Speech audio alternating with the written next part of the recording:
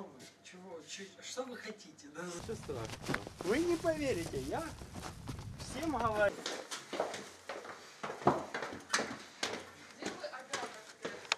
Здесь, здесь, нами. Здравствуйте.